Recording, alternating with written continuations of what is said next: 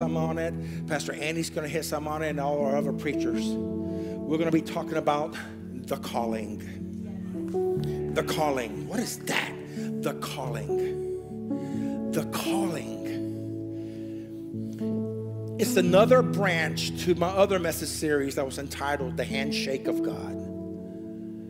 Where God calls us, everybody in this room, there is a calling and when Jesus said, He who has an ear, let them hear what the Spirit is saying to the church, if you listen, you'll hear God calling you.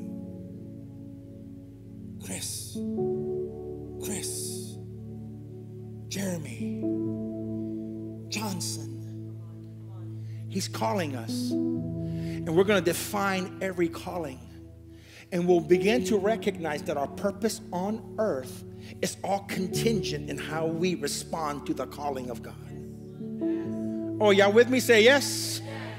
And today, I want to talk about raising a family, the call to raise a godly family. Since it is back to school and I have 40 minutes, I know you already stood up. I feel like a Catholic church now. Let's all stand up again.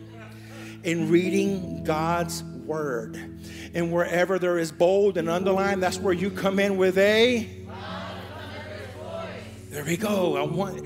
Listen, a lot of churches do not practice public reading of God's word. And it's so important that we do. We're going to read from the book of Ephesians, chapter 5, verse 25 through 33, and then we'll skip into chapter 6, verse 4, verse 1 through 4. It says this for husbands, this means. Love your wives just as Christ loved the church. Ooh, man, that's a sermon right there all by itself. He gave up his life for her to make her holy and clean washed by the cleansing of God's word. He did this to present her to himself as a glorious church without a spot or wrinkle or any other blemish. Instead, she will be holy and without fault. Remember, it referenced the church as the wife. Ah. That's for later on. Verse 28 In the same way,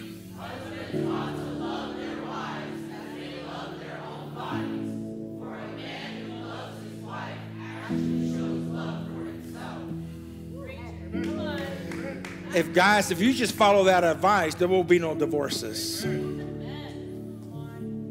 We like, a lot of us like to blame the women. Everything rises and falls on leadership.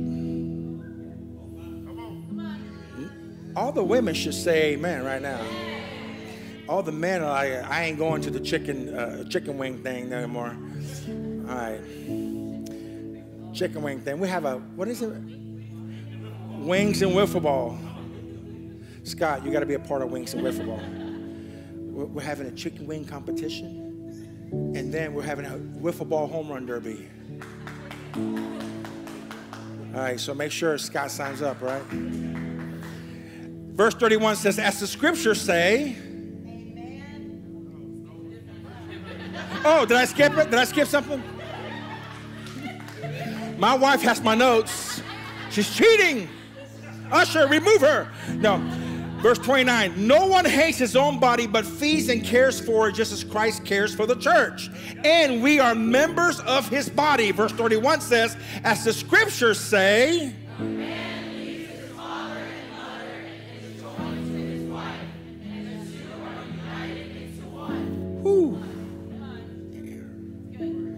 You know what that means? A woman never leaves her daddy.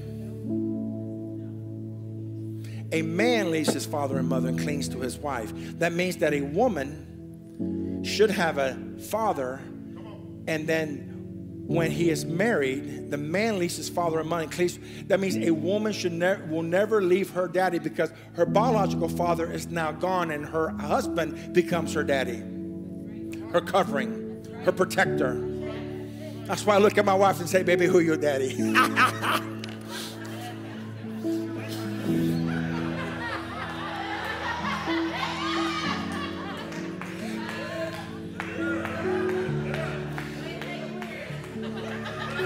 Made it weird, didn't I?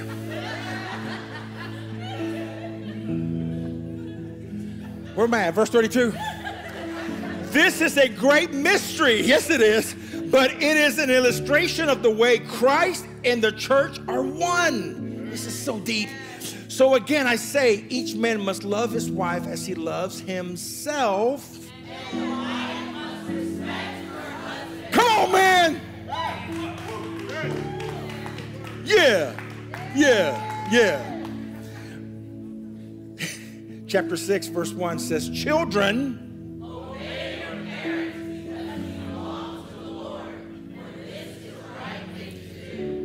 Right, students. Verse 2, uh, verse 2 says, Honor your father and mother. This is the first commandment with a promise. Read verse 3.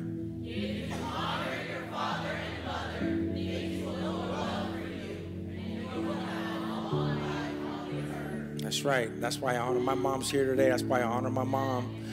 And she is, she is my secret formula for my prosperity.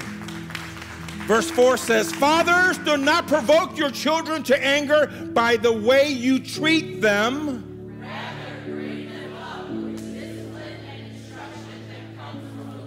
This is God's word. You may be seated.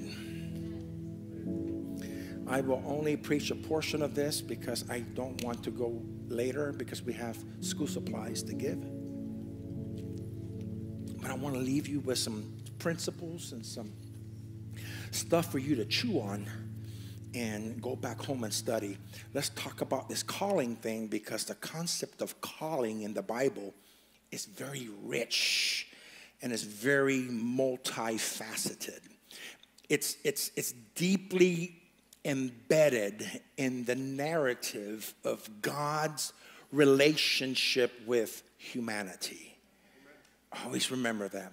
Because the calling transcends a mere invitation or a task.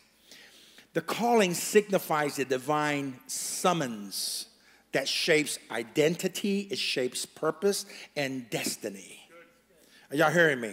The word calling in the Bible is translated from several Hebrew and Greek terms. So let's learn a little Hebrew today. In the Old Testament, the Hebrew word is kara, which means to call out or to proclaim. Ah, okay? In the New Testament, the Greek word kaleo, kaleo, and its derivatives is it up there? There it is. And its derivatives like klesis and kletos are used denoting an invitation or a summons.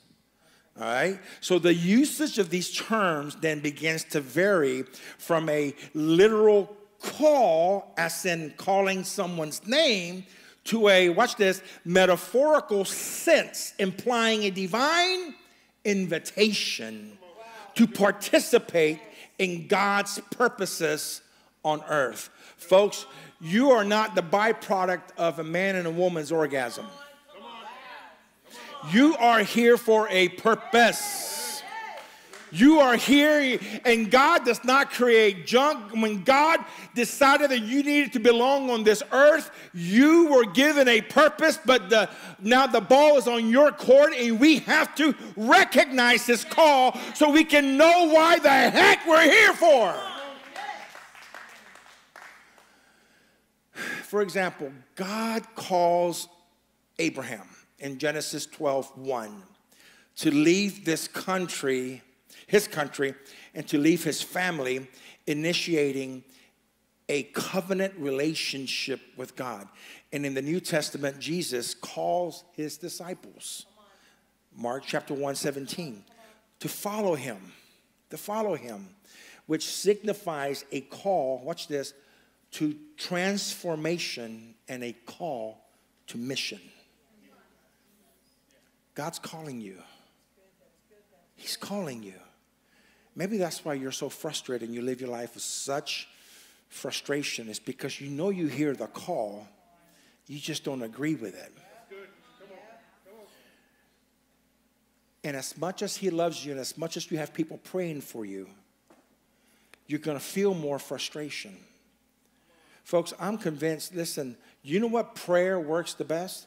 I call it the prayer uh, of uh, whatever it takes. I would pray for people to hit rock bottom and, and hit it so hard that they finally recognize that the whole reason why their life is so jacked up is because they've been denying God the whole time and ignoring the call of God on their life. We've been called, every one of us have been called. So, I, what I want to do, I want to dive into the many callings to help us better than understand our purpose on earth and how we function that through our church. So today, I want to get really, really practical. And if you give me about 20 minutes, I'll do as much as I can here. I want to talk about the call to raise a family. Wait, everybody? See, many of us think calling of God has to do with a specific calling. No, there's several callings, and everyone here, everyone, even though, even if you are not able to have children, everyone here, even though you're not married, everybody who is alive has a calling to raise a family. I'm gonna explain that in just a little bit. But before I do, I have some bad news for you. Let's talk about some sobering facts here. Sobering facts. Um, let's throw them up there, guys. Here's some sobering facts. If a child accepts Christ first, there is a there's a 3.5 chance per, percent of the whole family becoming Christian. If a mother accepts Christ first, there's a 17% chance of the whole family becoming followers of Christ. Give me the next one. If the father accepts Christ first, there is a 93% chance of the whole family why do you think Pastor Andy has such a heart for men to get right with God and we need to reach men and fathers?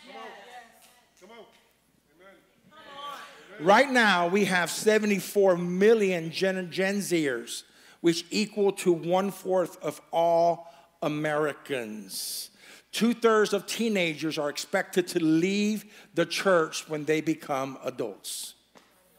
Teenagers in the US are two times as likely to identify as atheists or agnostics. Negative, is that, no, no, not negative. 3%, sorry. Ugh, I was gonna say, that's not weird. 3% of teens read their Bibles every day. Only 3%. Today's teens are more isolated and disconnected than any other generation. By the way, we get this from the Barna Foundation, which they are known for their statistics and polling uh, uh, uh, around the world. Today, 54% of teens have over four hours of screen time every day. Folks, this is, this is pretty tough. This is pretty tough, and these are sobering facts, and this is where we need to know how to raise a family.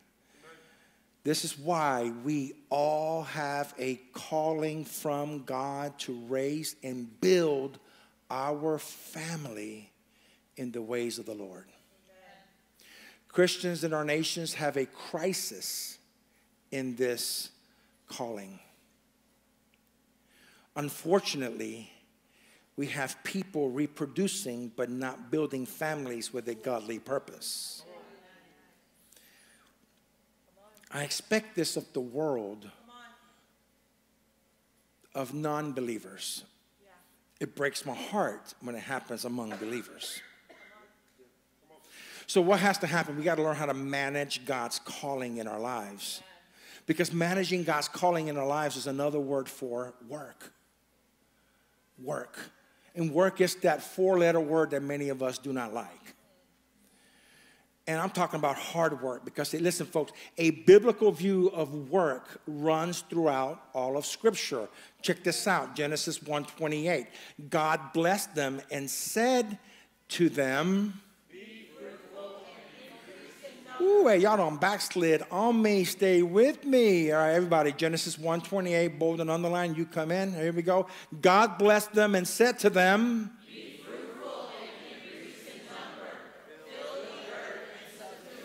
Rule over the fish in the sea and the birds of the sky and over every living creature that moves on the ground. Folks, in Genesis, then, we are given a cultural mandate, a calling, if you will to use our lives to cultivate and to grow God's purpose on earth. So, our work, how we engage the mandate God gave humanity, this work then plays part in God's plan for restoration. And this plan of restoration was laid out all the way from Genesis to the book of Revelation. But because of sin, but because of disobedience, then what happens is we've lost sight of this perspective. And as a result, as a result, we've lost any sense of this calling. We lost it. We went from being living lives of significance to just surviving. We're no better than a, a weed or a bug. We just want to live another day. So the question is what is God's calling and what does it mean for our lives? Y'all with me yet? All right, let's keep going. Let, let, me, let me reference two callings. The, the first calling is the general calling. The primary meaning of a, of a calling in Scripture is a general one. That's the primary meaning. We're called out of an old sinful way of life into a new, redeemed, and faithful way of life. It is the call to salvation. Yes, yes, yes. That's the first calling. If you're born again, congratulations, you have you have responded to that calling. 1 Peter 2 9 says, But you are a chosen people, a royal priesthood, a holy nation, God's special possession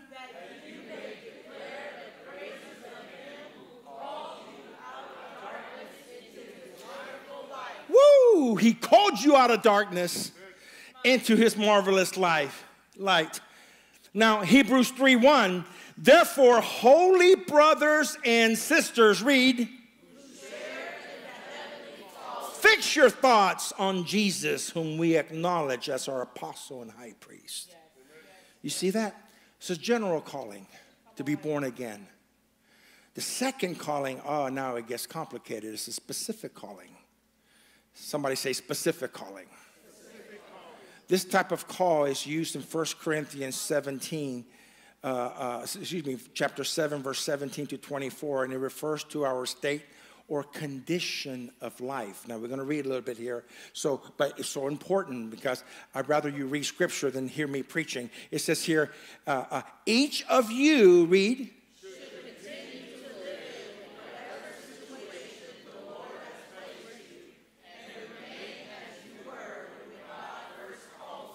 Mm. This is my rule for all the churches. For, for instance, a man who was circumcised before he became a believer should not try to reverse it. And a man who was uncircumcised when he became a believer should not uh, be circumcised now. For it makes no difference whether or not a man has been circumcised. The important thing is to keep God's commandments.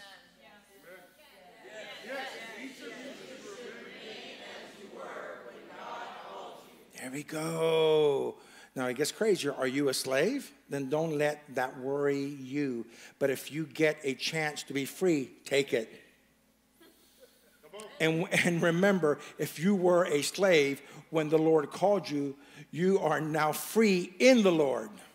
And if you were free when the Lord called you, you are now a slave to Christ. Man, I love, I love this. God paid a high price for you, so don't be enslaved by the world. Read verse 24.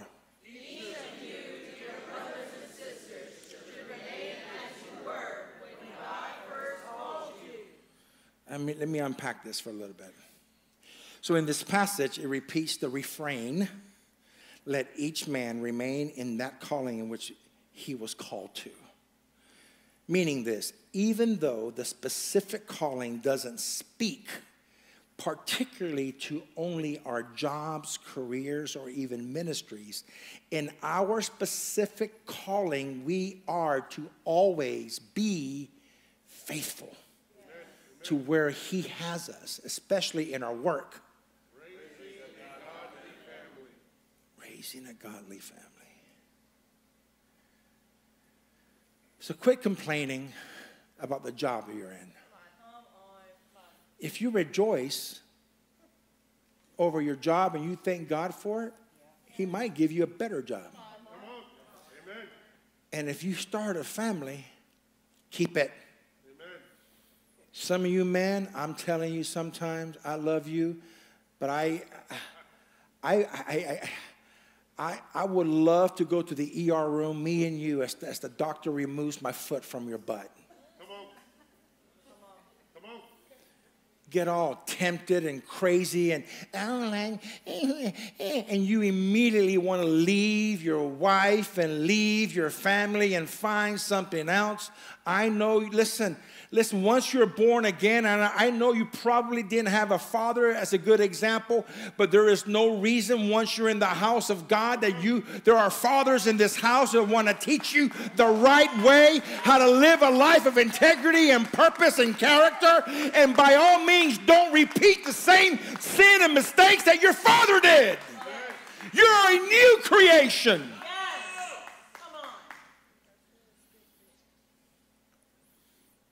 If I offended you about that doctor thing, I painted a picture. Sorry. Not sorry.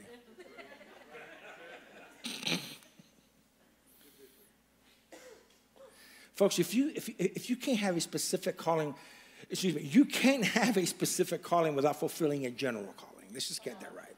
You got to be born again first.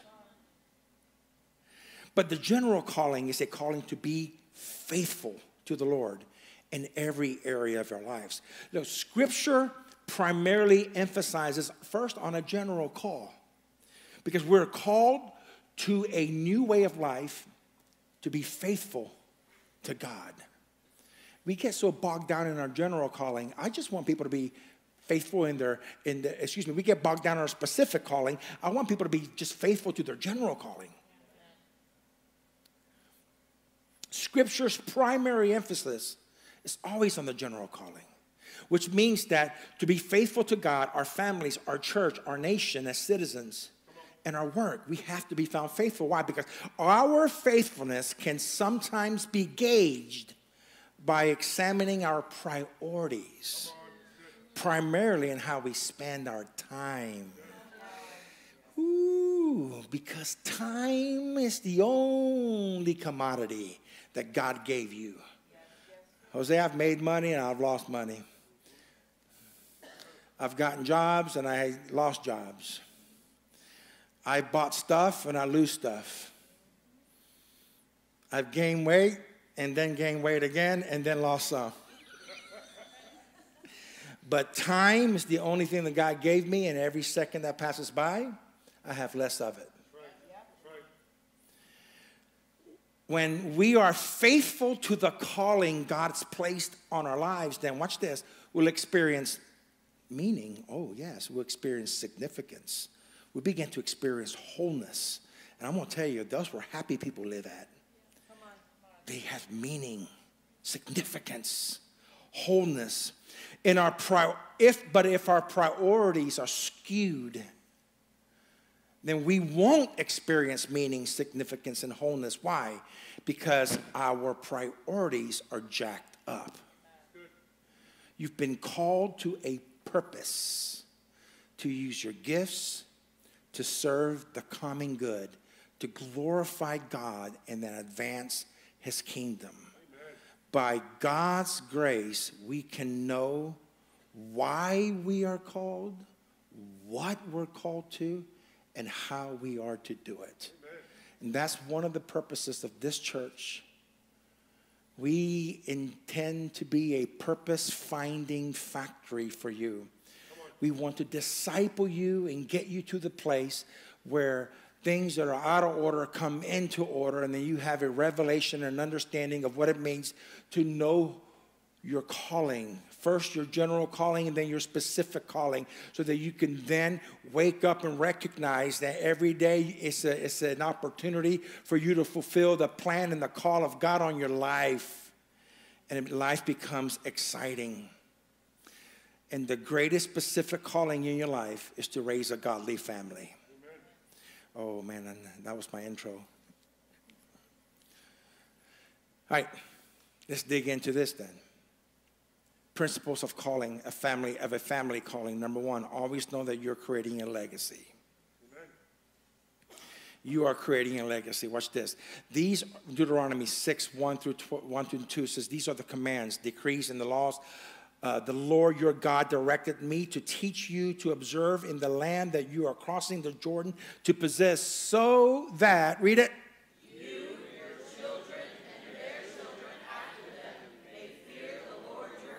as long as you live by keeping all his decrees and commands that I give you, so that you may enjoy long life. You're building a legacy. It literally says, pass it on to the next generation. Folks, I want my kids to hear and remember the reports and the testimonies.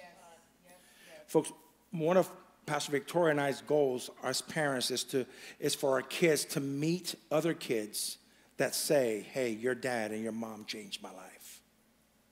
Oh, that's huge. So, so, so, so the time is now for us to start a family legacy. Our parents began that in us, and I want to establish it in those that I'm pouring in. So, what are we to do? Make a plan, create a culture, and by doing so, God will use you to create destiny in the lives of your children. Amen. Are y'all hearing that? Say yes. yes. So, in other words, it's not time to get lazy. This thing is bigger than you are. Yes. You started it right by giving your life to Christ. You start off right by being a part of your church, by putting into practice the principles that you've learned.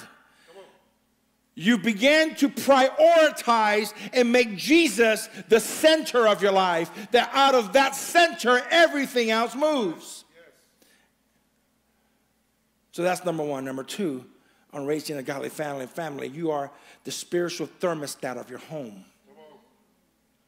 So we need to learn to share life with each other. And listen, some of you young adults, you're saying, oh, this ain't for me. Oh, goodness gracious. This is exactly for you. You don't need to learn from your mistakes. You need to learn from somebody else's mistakes. So when we do, folks, we set the tone and rhythm for a home life. What did Joshua say? He said this in Joshua 24 15. But if serving the Lord seems undesirable to you, then choose for yourself this day whom you will serve. Whether the gods your fathers served beyond the river or the gods of the Amorites in whose, whose land you are living. Read it.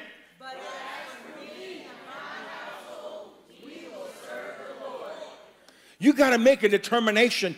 You will serve God, and God has to be first and center of everything.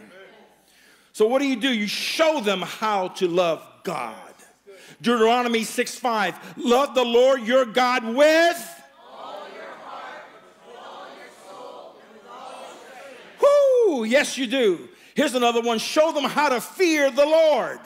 Yes, Psalms 103 17 says, But from everything to ever, from everlasting to everlasting, the Lord's love is with those who fear him. Read it.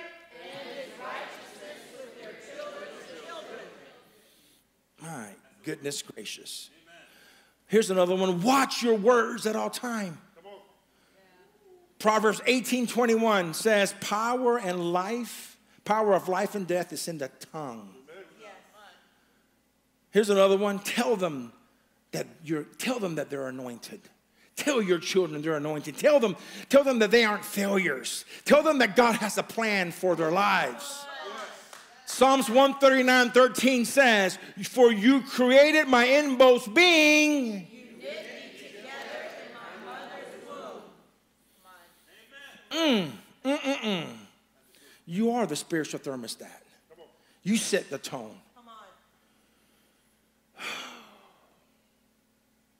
Here's the number three. Develop. Pastor Ivan, just come up here if you can. Just play the piano so you could. Man, I like them glasses on you, man. You, you know they, there's fake glasses. You know. Are they fake? Yeah, they're fake glasses. But they look good, though. It's better to look good than to feel good.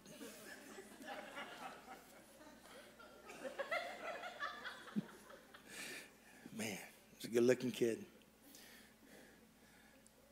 Here's, here's, here's number three develop spiritual order and leadership. Colossians 3 18 to 21 says, Wives, as it is fitting to the Lord. Husbands, love your wives and children, for this pleases the Lord. And fathers, for they will become discouraged. You read that in Ephesians and in Colossians. Hear this your kids can't rule the house, parents. Stop it. Stop. Quit being a weak, weak parent. And quit allowing your children to dictate the house. It's time, parents, it's time for you to quit being submissive parents. Let me tell you, in my house, my house is not a democracy. It never was. I was a benevolent dictator.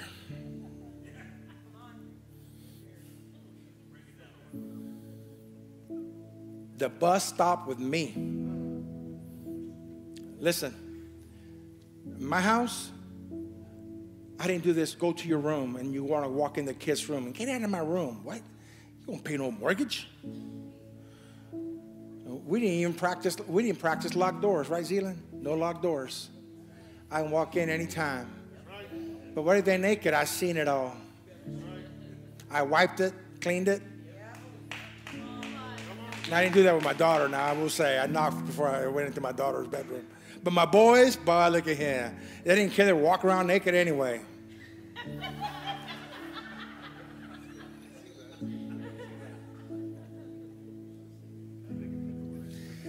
None of this. I tell my kids, Zealand, Zealand's here, and Zane's back there in the back. Nothing that they have is theirs.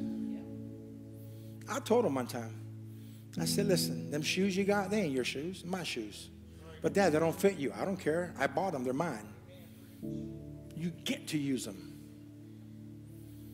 They need to understand that they receive everything from their mother and father because we love them, but none of it's theirs. In the same way that the house that we live in, and the car that we drive, and everything that we have is not ours, it's the Father's.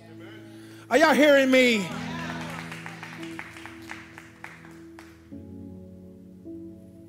you need to remove entitlement from the very, very mouths and mindset of your children. Till this day, my grown kids, if they're at the house and I cook and they eat, Zealand, what do you say? He thanks me every day. And the kids, they they they compete with each other. Who's going to say thank you first?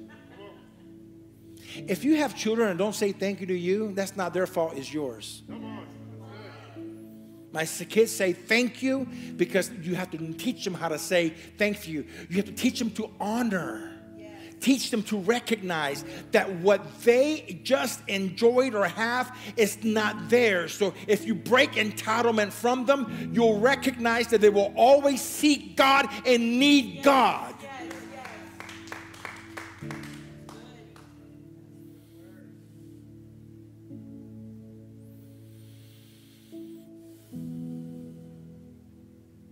You'd be surprised by the amount of parents who allow their kids to dictate where they worship God. I heard a parent in this church, and I almost became unglued. And they were they were new, so I'm like, Lord, they don't get it, but I do want to pop them upside the head right now. And they came up to me like, you know, like like they knew what they were doing. Yeah, you know, um, my kids are the barometers of our house. Hallelujah. If my kids don't like where we are at church, you know, we're gone. What? What? So I said, so when you walk into a restaurant, if your kids don't like the food, you leave. When you go to a dealership and you want to buy a car, do you then let your kids sit down and take a test drive? when you bought your house, did you not pay attention to what the numbers were? If the kid liked it, you bought it. You, listen, you, you fell from the dumb tree and hit every branch on the way down. For real. So, what you're basically saying is that you are entrusting your child to the spiritual destiny of your family. On what God's design and plan is, you're giving that to a seven or eight year old. It doesn't make sense. You are the leader of your house, you make the decision. Your children need to know how to, before your children can ever major in leadership, teach them how to followership.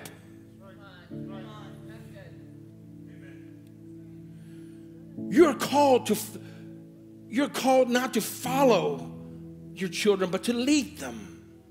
Lead them with integrity and character. Lead them.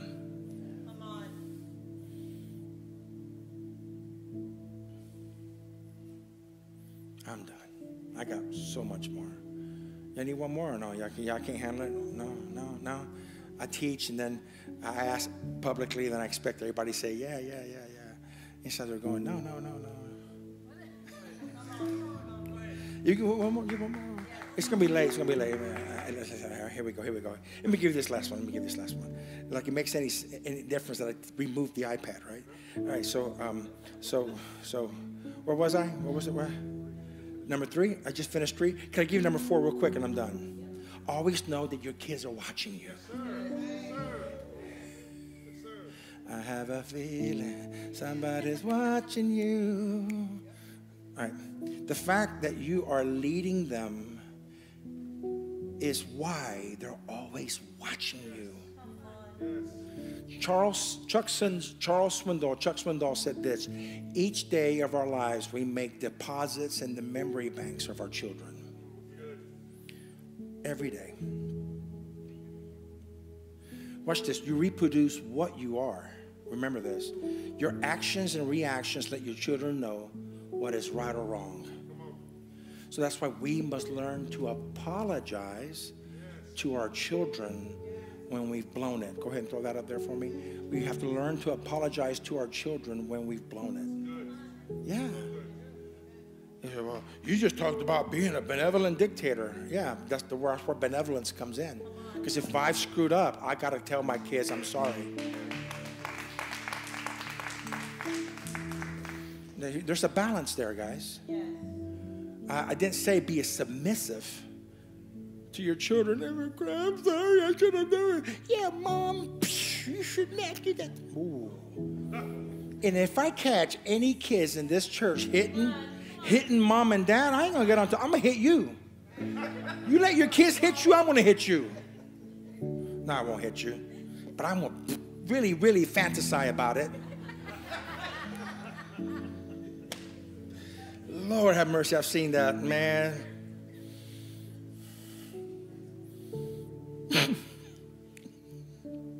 I just love our diversity of our church because with a white with an Anglo family, the kid hits them. Oh, honey, don't do that. Boy, you get a black kid hitting a black mama, it's done. It's done. What?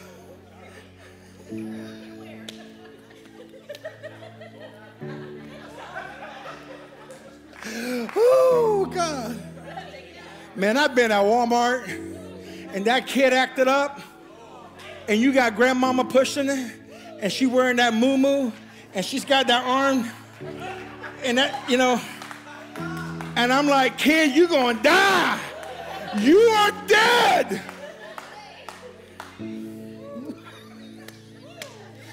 Anyways, just learn to listen. If you get it wrong, if you get it wrong, apologize to your kids because that reinforces order.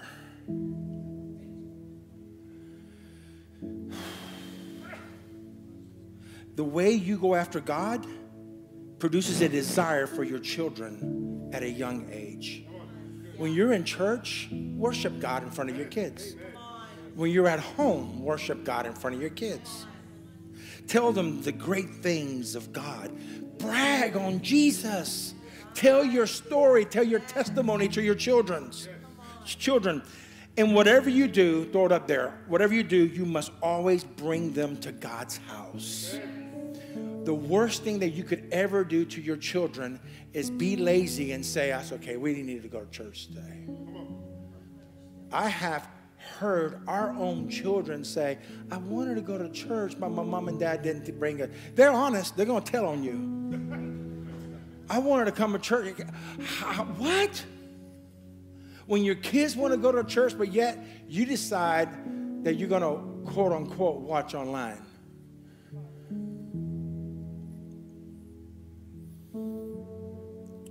Watch this. In our eras of Bible history, parents brought their children to the to public Bible teaching, and those are all your scriptures.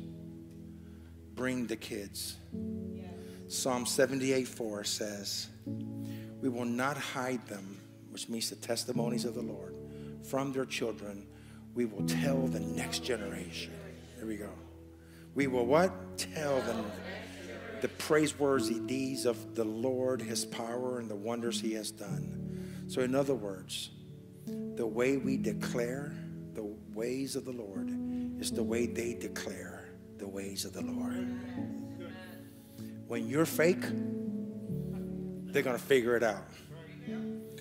I got like six more, which we'll probably cover when I come back again. I'm back on the pulpit again. Listen to me, Discover Life Church. Your calling is to raise a family. If you are not married or don't have any children, this is still your family. All these kids that were up here, you find a way to pour into the next generation. You should have spiritual sons and daughters. You are the discipler. You are you're doing all this. Now listen. On the 18th, on the 19th, excuse me, we begin a new Timothy team semester. And you're saying, well, how do I, what do I got to do to be a part of the Timothy team? Just talk to me or Pastor Andy or Pastor Andrew or Pastor Victoria. Talk to any of us. And you join us on the 19th. And you get a couple weeks to determine whether you need to be a part of this. Why? All of this is part of your calling. It helps you recognize your calling. The Timothy team is what we do for discipleship in this house. Amen. Just talk to us, pray about it. If you're in this room today, you say, Pastor Manny, I don't, I haven't recognized the general calling. I don't know Jesus, and I'm away from him. And I know he's calling me. He's calling me. But I don't know him and I haven't heard. I've heard him, but I'm, I'm just pushing him away. But you find yourself here today. This is your, you find yourself here today, right now. And you are still hearing his voice. And you've heard this message because God moved heaven and earth to get you here. So you can hear what he's saying to you today. The scripture says, For he who hears the, when the Lord calls, harden not your heart. He's calling you right now. If you're in this room right now, you're saying, I want to respond to the call of God on my life.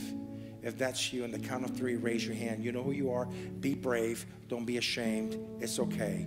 One, two, three. Anybody looking here? I see that call here. Anybody here? Anybody here? Anybody here? Now here's here's here's something else. Listen, listen. If you're in this room today, you say, Pastor Manny, I know what I'm supposed to. I'm a believer, Lord. Pastor Manny, I'm born again. I am in the general calling. I get it, but I have a specific calling that I haven't responded to, and you want to respond to it. Don't be afraid. If that's you, you're saying, Pastor Manny, pray for me. I I really want to respond to a specific calling. If that's you, lift up your hand. Anybody here? here, here, here, here, here, here. I, I, see them. I see these are this is so good. This is so good. This is so good. If you're in, put your hand down. If you're in this room you say, Pastor Manny, pray for me, pray for me. I want to raise my family. I want to respond to the calling to raise a godly family. And I'm a parent and I need help. I, I just need prayer right now so I can do this thing right. If that's you, don't, don't be afraid. Lift up your hand. Anybody? I see all these hands, moms and dads. Every parent really should raise their hand, and even even parents of, of grown kids. You should raise your hand. I, that's me too, man. I mean, my goodness. I, I'm hopefully I'm going to enter the granddad stage here very soon if Zion and Erica starts getting busy. But but. they ain't here today, so y'all, y'all, I can say this. Pray that Pastor Manny becomes a granddad really quick. I'm holding all these babies in this church.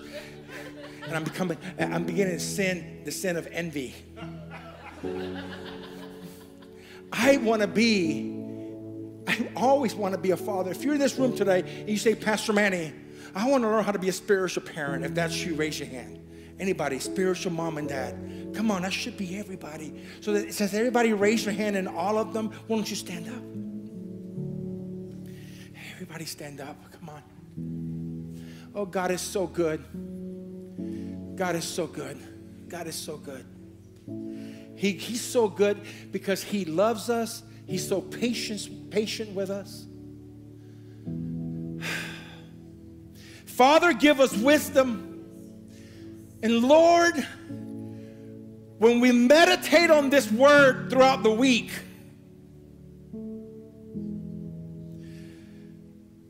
Help us to write down strategies and questions and as we pursue our spiritual parents, as we, as we pursue our pastors, Lord, as we begin to get things in order so that as parents and future parents, we could obey the call to raise a godly family, a family of your kingdom.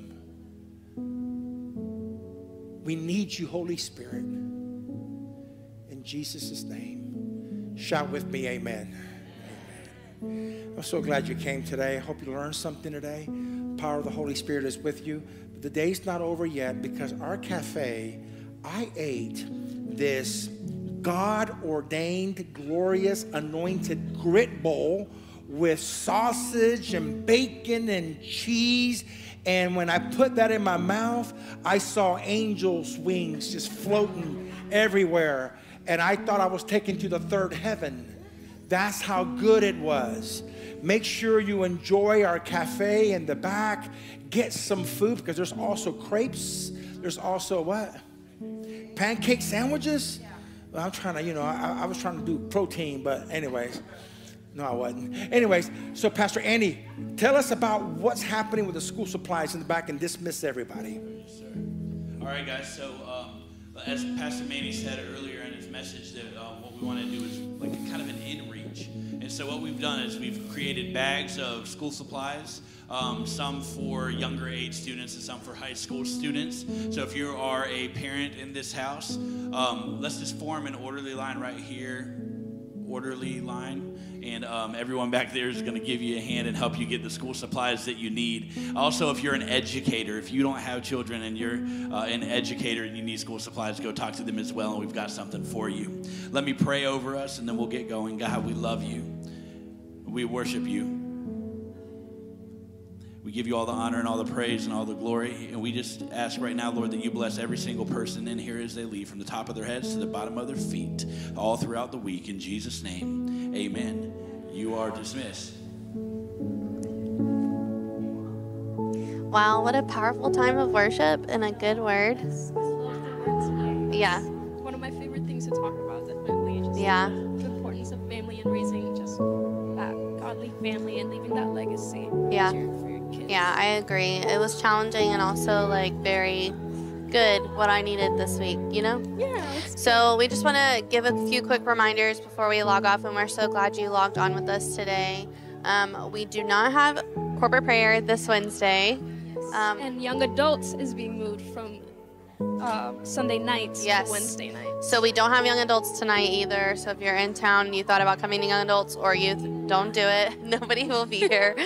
so we're so glad you joined us this morning, and we just pray that you have a great week. And you can download the notes and go back and listen to this this week on YouTube or our podcast and other things on Apple. And we're just glad you came with us, and we hope you have a great week.